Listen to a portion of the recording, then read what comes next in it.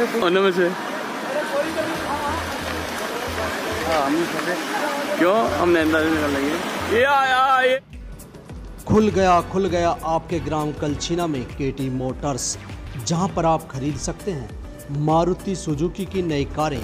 एक बार सेवा का मौका अवश्य दें।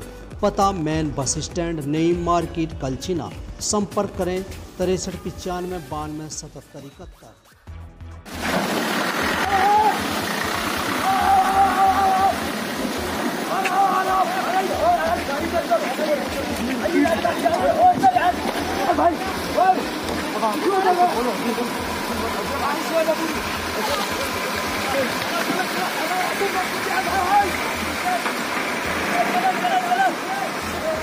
उनमें से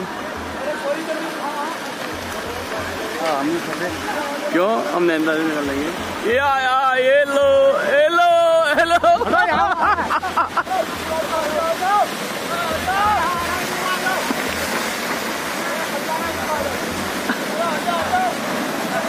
अब सवाल यह उठता है कि जब मेरठ जैसे मेडिकल कॉलेज में मरीज़ व मरीज़ के ईमानदारों के साथ इस तरह का व्यवहार किया जाएगा तो और मेडिकल